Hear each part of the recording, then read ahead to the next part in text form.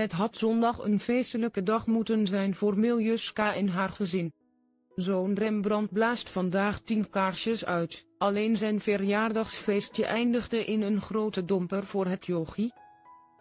Op Instagram deelt Miljuska het drama. Tijdens een spelletje is hij met zijn mond op de gietvloer gevallen en zijn zijn tanden afgebroken.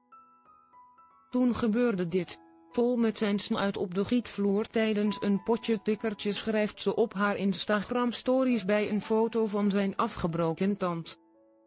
Dus het feest was snel voorbij en hebben ze de middag doorgebracht in het ziekenhuis. Ze deelt een kiekje van haar zoontje bij de dokter, beide voortanden afgebroken. Tandgruis in de lip, hechtingen in zijn lip, geen zenuw door maar moeten het dus wel goed laten herstellen. Gelukkig is mijn schoonvader tandarts schrijft ze daarbij. Miljuska haar mama hart breekt wanneer haar yogi zoveel pijn heeft.